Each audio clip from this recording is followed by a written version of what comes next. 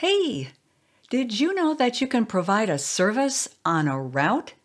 Yep, instead of using provided in root on the service, or a components providers array, we can define a service for a route. In this video, we examine the syntax and discuss the scope and lifetime of a service when that service is provided on a route. Then we add child routes to see how to share that service. Let's take a look. I'm in StackBlitz with my demo application open. We're looking at the vehicle service. This service is currently provided in root. I've previously covered how this works in my video, providing a service in root versus component. Let's imagine that our team has decided to more clearly separate responsibilities in our code. Instead of providing our vehicle service in the root of the application, we'll provide it on the route that uses it. Our routes are defined in our app.routes.ts file. I'll reformat a bit so it's easier to see. Then add the providers property. The value is an array. The component associated with this route only needs one service, our vehicle service. How does a service defined on a route behave differently than one provided in root? First, the service can only be injected in the specified component, in our case, vehicle selection component, or any component accessed through a child route of this route. We'll see an example of child route shortly. When the service is first injected into a component, a single shared instance of the service is created. That shared instance is only provided to a component that injects it if that component is associated with this route or a child route. The service state is shared between this component and any child route components. Once the shared instance is created, it exists for the lifetime of the application. Even if the user navigates to a different route and the component that injected it is destroyed, the service instance still lives. But wait, going back to the service, we now have the vehicle service provided both on the route and in root. This brings up an important point. Only provide a service using one technique.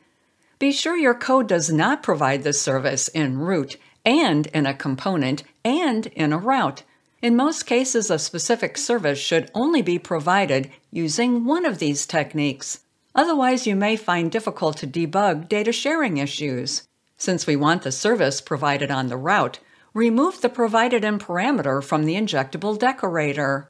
And let's check the vehicle selection component. Notice that it does not provide the service. I'll delete this commented out code to make that clear. Okay, now we only have our service provided in one place, the route. When the user navigates to this route, the component is initialized. As part of that initialization, the service instance is injected into this component. If that service instance does not yet exist, it's created and its state is initialized. Scrolling down, we use an effect to display when the signals are initialized and when their values change. In our UI, we see the welcome page. Open the browser console and clear it. Then click to reload the application. As we would expect, our messages don't appear because our service was not yet initialized. Click Vehicle List from our menu, the vehicle's route is activated, the vehicle selection component is initialized, and our service is injected. We see our service state in the console.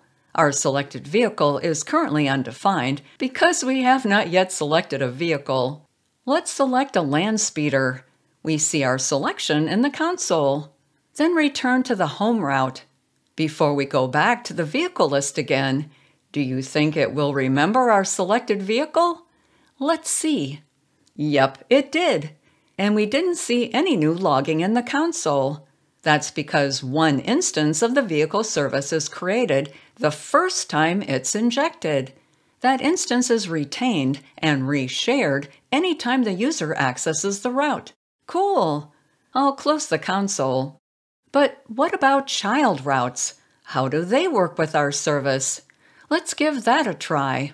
Let's say that our users want to see additional information about the vehicle. We'll display that information within this page using child routes.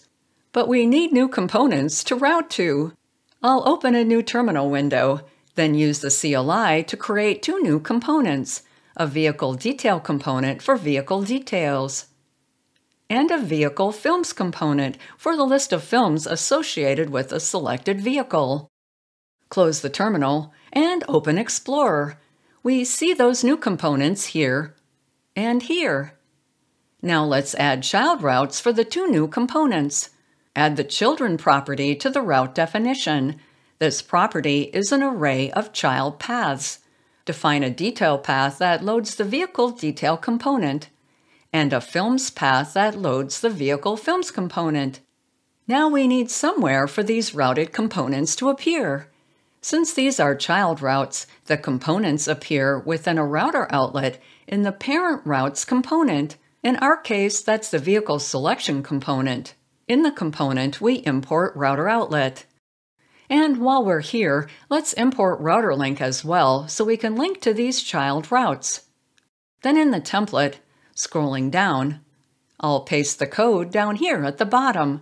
If the user selected a vehicle, we display the two links, one to each child route, and we define the router outlet where the routed components appear. To try it out, select a vehicle. Okay, that doesn't look great. We could design these to be tabs, or at least buttons, but they're good enough to demonstrate child routing. Click on a link to see that component appear.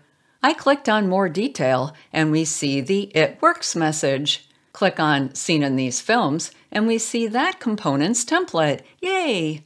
Now let's inject the service into each child component. In the vehicle detail component, create a private variable, vehicle service. Then inject the vehicle service. Next, declare a signal that references the selected vehicle from the service. And reference that signal in the template. Make the same changes to the vehicle films component and display the vehicle name in the template. That's good enough to see how our injected service works.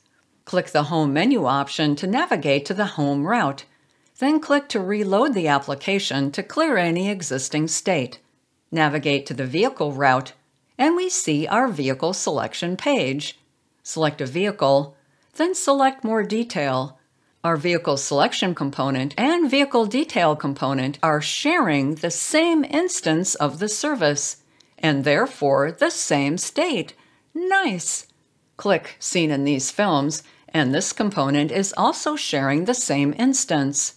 Select Home, go back to Vehicle List, and we see that the service instance was retained. Click either link, and they all share the same service state. Provide a service on a route anytime you want fine-grained control over which services are used and shared on specific routes. Use this handy table to help you decide where to provide each of your services. And don't forget that any one service should only be provided using one technique. Thanks for watching. If you'd like to see more content like this, please like and subscribe.